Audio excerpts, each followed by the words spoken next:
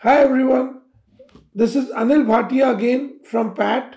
Fun Begins Practical Architectural Training, a unit of ADS Architects Design Studio. In the past few videos, we have understood air conditioning, waterproofing, and also how to read raft foundation drawings.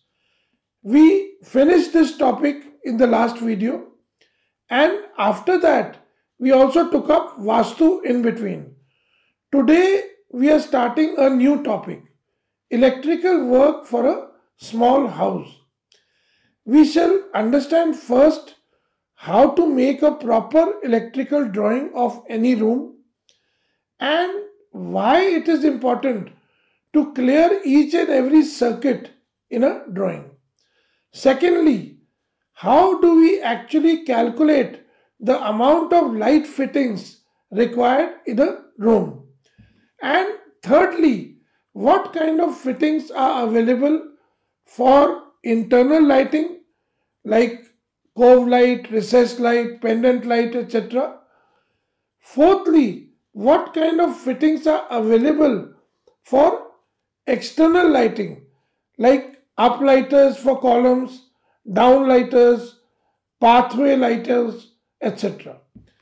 And lastly, how can we automate these lights and actually use an app on the phone and control all electrical devices in our house. You can even control the lights, fans, air conditioners and practically every electronic item anywhere by Wi-Fi using your phone. Okay, so let's get started. First, let me discuss how we in our office at ADS make electrical drawings. We make two drawings for each room. One drawing shows the ceiling electrical and the other drawing shows the wall electrical. Let's take an example of a simple living room. Let's look on the left where we have shown the ceiling drawing of this living room. The size of this living room is 12 feet by 24 feet. We are assuming it. It has two fans and one chandelier. Have a closer look. And there is a false ceiling all around the ends of the room. This has 12 ceiling recessed lights. These are downlighters. Have a closer look again. And one dotted line representing a continuous cove light all around shown as CL, cove light. We have chosen a very simple false ceiling for this example because our motto here is to explain only how things are represented in an electrical drawing. We shall not talk about wiring yet. We shall talk about wiring and sizes of wires later. Now, let's look at the wall electrical drawing shown on the left. In the wall electrical drawing, it is necessary to show all the doors and windows. Secondly, we must show all switchboards on all walls with heights given. Thirdly, we must show position of air conditioners. Have a close look. All three things are shown there. Now we are assuming there is no other device in the room. So we have one switchboard at the entrance to the drawing room at plus 3 feet 6 inch level. That is the height. Have a closer look at that. And four switchboards at a level of plus 9 inch from the floor. Now, if you have a closer look at the drawing, you can see the switchboards, all the switchboards, five switchboards which I have mentioned. Now the main switchboard at the entrance has to control four things in the ceiling. First, the two fans. Second, the chandelier. Third, the downlighters. And fourth, the cove light. And the air conditioner socket and switch is at plus 9 inch level either in the switch number 3 or switch number 5 mentioned in the drawing. Now the locations of the switchboards and their heights are very much clear and also position of ceiling fans and lights. So what next? Next is the details of the switchboard. Have a look on the left. You can see in SB1 there are two fan switches and two fan regulators at the top. Below that there are six switches. One of these six can be used for the chandelier. The second can be used for lights C1 and C2 shown in the ceiling. Have a closer look C1 and C2. The third switch can be used for C3 and C4 lights. The fourth switch can be used for the downlighters D1 and D2. The fifth switch can be used for D3 and D4 lights. Again, these are downlighters. And one switch remains which is not usable. Here a dummy blank switch is used. Now look at the switchboards SB3 and SB5. They are similar so names are clubbed. SB3 and SB5 have one socket for air conditioner with a switch to put it on and one light socket for a lampshade or anything that is required on a side table. The SB2 switch board has a power cum light combined socket.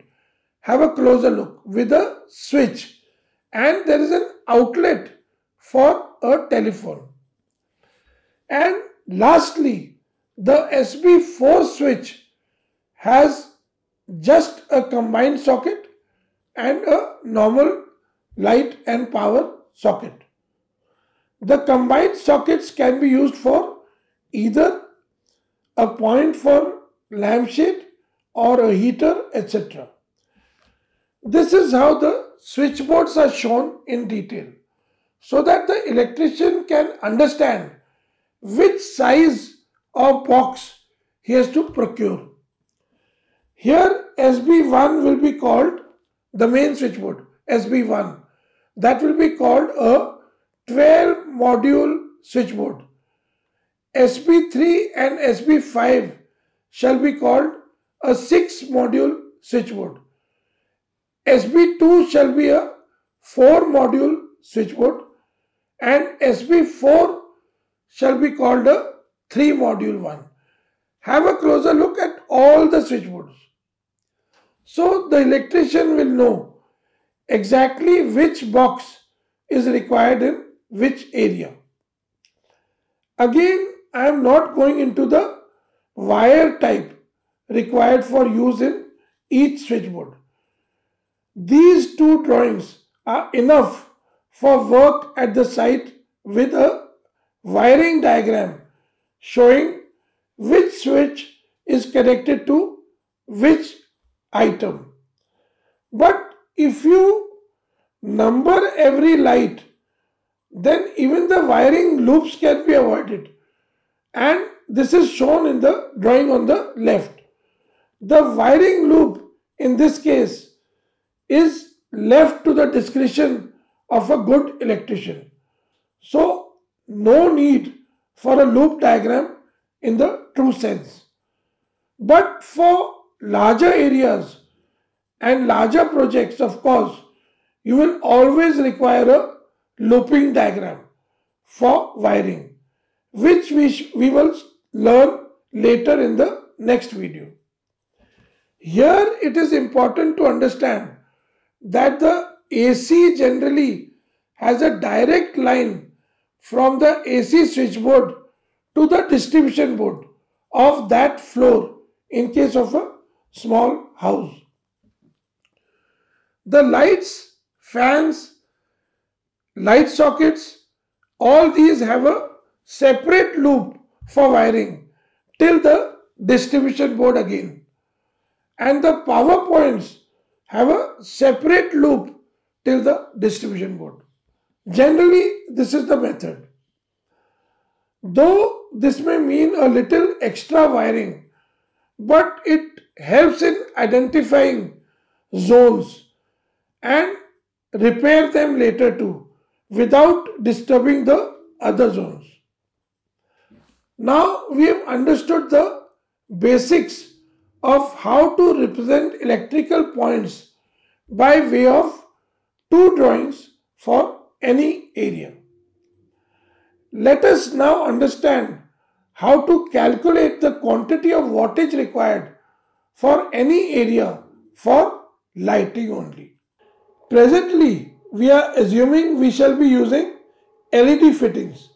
The color of light can be white or warm white as used in our normal language. We shall go into the details about color later. There are certain factors on which the wattage is calculated. The first factor is the variation in height of the room. Have a look at the drawing. If the room height changes, then wattage required per square meter of that area of the room that changes. The second factor is the task being performed in the room. Like in a kitchen, you may require more wattage than in a drawing room per square meter again. And the third thing is the finishes of the rooms finishes of the surfaces in the room. So if you have darker surfaces, then they will not reflect light and more wattage shall be required per square meter. Considering all these factors will be perfect calculation method for quantity of wattage required in a room. And what I will do is that at the end of the next video, I shall tell you the method of calculation. Otherwise, we shall lose the flow of this lecture for the students who really don't want to go into these details for smaller projects. Generally, we take a height of 10 feet for a normal residential house for all zones and generally we assume that the surfaces are of light colors. So assuming this, we will go ahead and based on this, we have already made a chart using the calculations mentioned. Now look at the chart on the left. This chart gives the lumens required per square meter for any area in the house. Say you want to calculate lumens required for a drawing room we were discussing, then the lumens required are 182 per square meter. So, if the height of fitting is 2.75 meters or approximately 9 feet 2 inches, this is the normal height of fitting in a house. So our room is 12 feet by 24 feet. That is 288 square feet or 26.7 square meter. So we shall require around 4870 lumens for this room. The calculations are shown there. Now comes the wattage lumens per watt given out by a LED fixture is between 80 to 100. So that means 1 watt gives out 80 lumens of light. If we take this as 80, then 4870 divided by 80 is 60 watts. So we require a total of 60 watts in this room. So if we use a LED fitting of 6 watts, we shall be requiring 10 fittings. In our case, we had used 12 fittings. So it is okay because sometimes we do feel like having a little more light. The cove light is not counted because that is optional to create an atmosphere for a certain mood and the chandelier is also for a different mood. We have hence managed to calculate with a chart and certain thumb rules which are based on certain authentic calculations. We shall definitely understand these calculations in our next video. We have to next study how to automate these lights, fans and even the air conditioner. We also have to understand how an EPABX works for intercom in a house and how wiring is done. We have to also understand how security system wiring is done and how cameras can be used for recording everything. So we shall definitely need at least one more video. Now let me introduce you to my staff who helped me in this presentation and research. Shivangi and Shagun. If you have any queries, please write to the email ID mentioned below. We shall be back to continue with this topic electrical work for a small house. Till then, bye, take care.